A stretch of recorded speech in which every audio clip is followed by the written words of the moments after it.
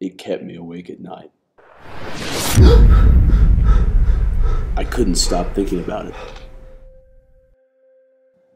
I can't eat. I can't sleep. It haunts me. It stuck with me for weeks. I hadn't had to think about it for 12 months, but now I can't get my mind off it.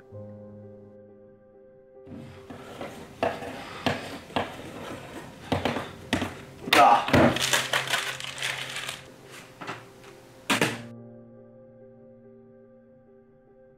Night after night after night, it tormented me in my sleep. I needed help. I'm freaking out, dude. I'm freaking out, man. Bro, it's really not a big deal. Dude, it is a big deal, man. Don't you see? We've only got two weeks. I'm running out of time. Hey, hey, we talked about this. This happened the year before and the year before that, alright? It's okay. We'll make a plan. Everything will be alright. Just go to your happy place. All right, all right, you're right.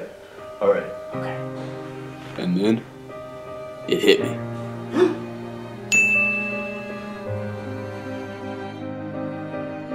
It was brilliant and original. It was perfect, and I knew it. Done. It's perfect. I know. It had been a long journey, but I felt as though my destiny were at hand.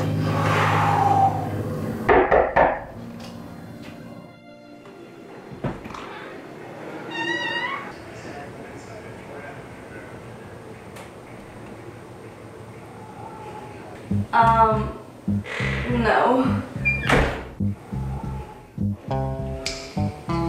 She said yes. got sunshine.